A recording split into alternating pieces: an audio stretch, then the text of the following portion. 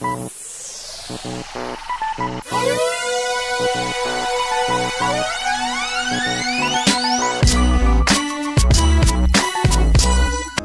guys, I'm gonna show y'all guys how to run a five out offense so that you can kill the all ballers.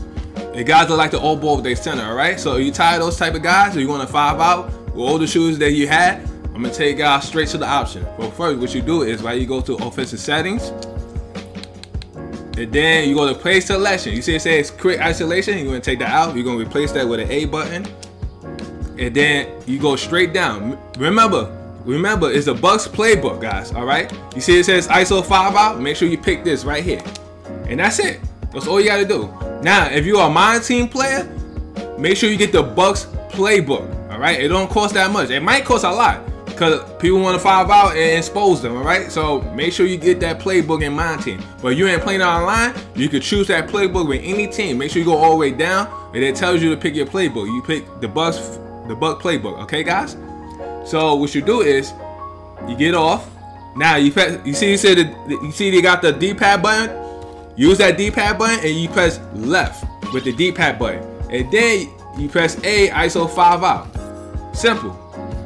And then I'm gonna show y'all another way how to five out too without the playbook. Now watch this. Hold on, we're gonna do it again. We're gonna do it again. We're gonna do it again. After this play, I'm gonna show y'all another another way to five out too.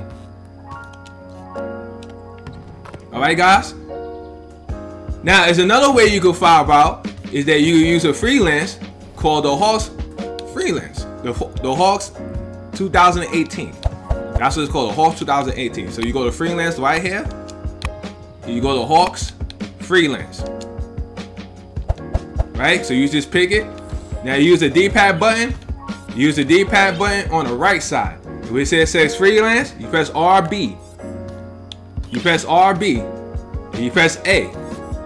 Now what you do is, another thing you could do, use the D-pad button, press left, and you go past the screen way. It, it spreads the floor for you. Now, you could do this in play now, but not a lot of guys could shoot that long distance three like that. So you only could do that in my team. So you want to do that in my team? That's good because a lot of guys have a limited range on Hall of Fame or gold. So you can get away with it doing that in my team because it's easy. But playing now, you need shooters to do that. You can do that with the Warriors, whatever, because they got long, they got limited range, long distance three. So you're able to do that. So I don't, I don't, I don't use this freelance right here. But if y'all want to, you could do that. But personally, I wouldn't do that. I just use a regular ISO 5 out because it's much better that way. But it's up to y'all. So I just show y'all two two ways to do it, and that's it.